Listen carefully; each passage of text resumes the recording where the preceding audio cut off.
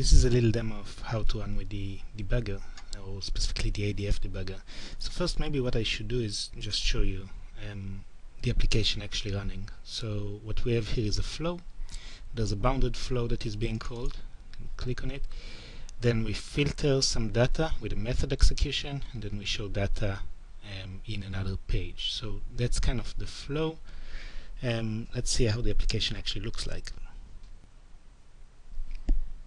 So we see a list of houses, we select a house, let's say house number 70, okay, that's kind of the ID, and then on this page we'll see information about house number 70.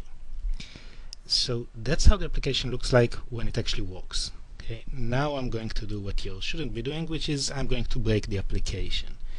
Um, so specifically what I'm going to do is I'm going to go over here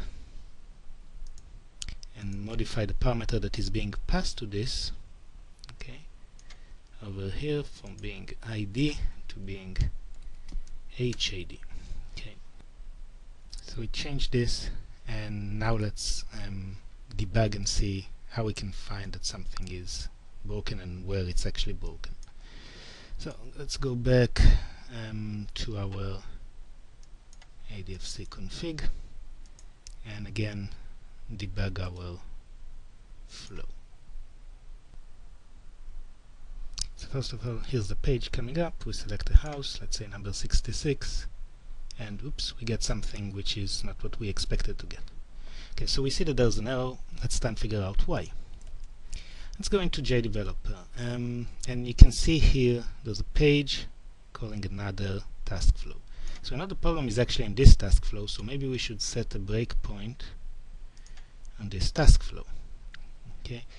Um, and I'll show you what happens now when you're invoking the same flow. Okay? Go back to the start. And let's choose house number 64 okay? You can see JDeveloper is now flashing which means you can go in here because we're inside a breakpoint. So we hit this breakpoint over here. So let's see what we can see here. Um, you can see the regular um, debugger information in these windows. Let me minimize this a little bit. Okay. But the more interesting thing is actually to look into something called the ADF data. And this is tied into a window here called the ADF structure. Okay. And when you look over here, you can actually see where you are inside your application. So you can see that you started from the ADF config and when you click on the ADF config you can see the ADF data is changing to show you information about this file and what's going on in there. One of the interesting aspects there is something called page flow scope and you can see for example parameters that are being passed in this page flow scope. So for example this parameter called HID in this environment, in this scope, is set to 64. So I know that the parameter that I'm passing from here to here is set to 64. Okay. Um, what's next? Um, let's go in here. So we can actually double click in here and we can see there's a filter uh, operation and then there's the showing of the data. So I can also set a breakpoint on this filtering. Okay, so let's continue running okay and then I hit this breakpoint because this is the entry point default activity and now I'm in here inside my flow okay and I can actually see I'm inside this filter operation okay. So first of all inside the flow okay so I'm at the flow level this bounded task flow okay.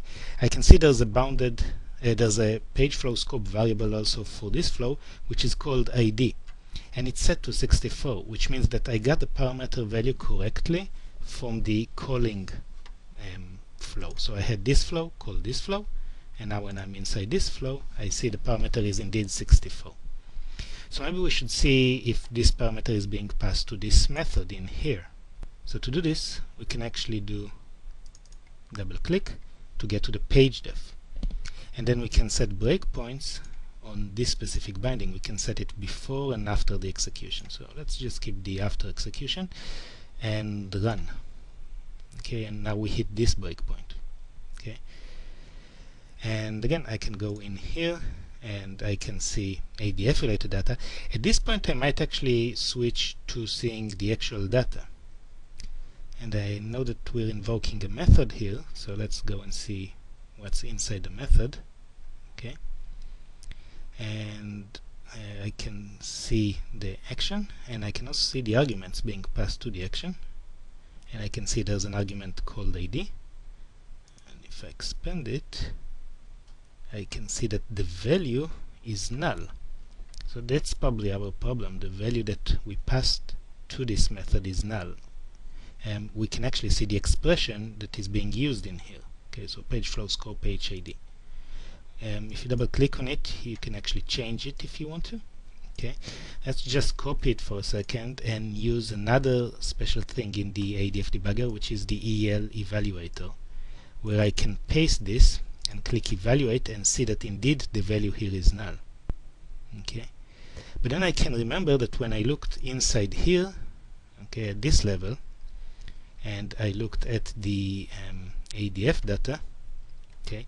The name of the parameter was ID so maybe what I need to do is change instead of HID here I can change it to ID and evaluate. And now I can see this indeed will return 64